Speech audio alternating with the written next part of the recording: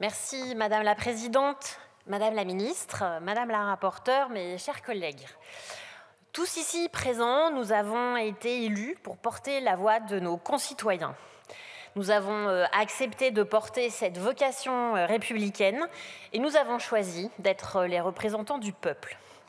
Malheureusement, nous avons aussi, toutes et tous, je pense, été confrontés euh, à la virulence, aux attaques physiques ou sur les réseaux sociaux, à des menaces, à des dégradations à notre domicile ou euh, dans nos permanences.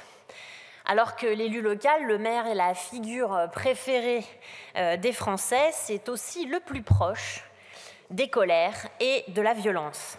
C'est pourquoi le gouvernement, dès 2017, avec la loi Engagement et Proximité, qui a permis la mise en place de la protection fonctionnelle pour tous les maires, avec l'obligation pour les communes de souscrire à une assurance qui puisse prendre en charge les coûts des protections fonctionnelles. La loi de 2023, de janvier, permet quant à elle aux assemblées d'élus, aux différentes associations d'élus de se euh, constituer partie civile. À l'écoute des élus sur ma circonscription, j'ai pu constater à quel point la parole des maires avait besoin de se libérer et à quel point parler n'était pas aussi facile, notamment euh, par peur des représailles. Et vous avez pu entendre ces témoignages, hein, Madame la Ministre, puisque vous étiez euh, présente en Isère, et vous avez pu constater, comme moi, à quel point ils étaient dignes et courageux.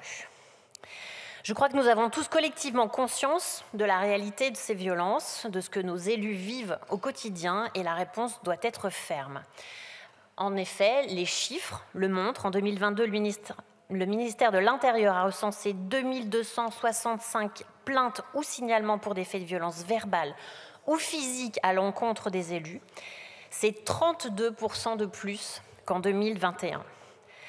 Ce texte sénatorial vient donc répondre à un réel besoin et nous devons nous tenir aux côtés des élus pour les aider, les soutenir, les défendre avec les leviers qui sont à notre disposition comme cela va être fait par l'aggravation des peines encourues en cas de violence commise contre les élus. On améliore également la protection fonctionnelle avec des mesures qui viennent compléter ce volet à la fois répressif et protecteur. Je crois que nous avons un devoir commun, celui de défendre nos élus locaux, ceux d'aujourd'hui, mais aussi ceux de demain. Il s'agit d'apporter une réponse concrète, efficace qui répond notamment aux freins, de l'engagement, ça a été euh, évoqué précédemment, car il nous faut rassurer les futurs candidats. Ce texte permettra, avec d'autres propositions, d'arriver à un choc d'attractivité, comme cela est proposé par Violette Spilbou et Sébastien Jumel. Mais sur le terrain, certaines violences restent en zone grise. Je vous parle des agressions verbales des chefs de chantier mandatés par la commune.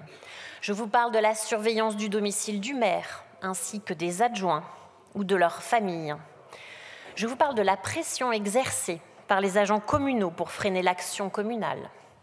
Je vous parle aussi des procédures nombreuses contre toutes les décisions de la commune, et c'est leur caractère systématique qui en fait euh, un point de pression psychologique. Ces actions volontairement exercées sur nos élus, et je le dis à la limite de la légalité, sont malheureusement vécues de manière quotidienne et banalisent les violences et les incivilités. Cela se passe à la sortie d'un conseil municipal avec une agression physique ou sur les réseaux sociaux, ça a été évoqué par la rapporteure, par un harcèlement, voire seulement, mais quand même, un dénigrement systématique. Face à la proximité de cette violence, ce texte est un premier élément de réponse pour nos élus. Et je me félicite de l'accord trouvé avec nos collègues sénateurs, démontrant ainsi que nous, parlementaires, gouvernements, sommes à l'œuvre pour protéger nos élus locaux. Protéger nos élus, c'est protéger la démocratie. Refusons la banalisation de la violence. Je vous remercie.